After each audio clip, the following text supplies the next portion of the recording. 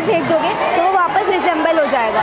तो इसको मारने का एक ही तरीका है कि वो हीरे को तोड़े, हनुमान जी लैम्प्स को बुझा दे, और उसी समय पर रावण उसका सर काट दे। और ये तीनों चीज़ें एक साथ होनी चाहिए।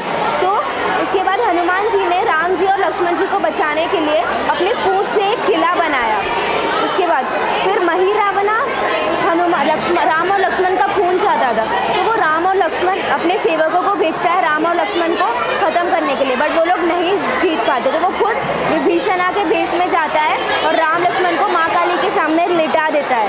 फिर बाद में असली विभीषणा जी वहाँ पर पहुँच जाते हैं। वो बहुत चिंतित जाते हैं कि राम जी कहाँ चले गए, लक्ष्मण जी कहाँ चले गए। तो वो हनुमान को बोलते हैं। तो हनुमान, राम जी और लक्ष्मण जी एक प्लान बनाते हैं ताकि वो विभीषणा मही रावणा को मार दे।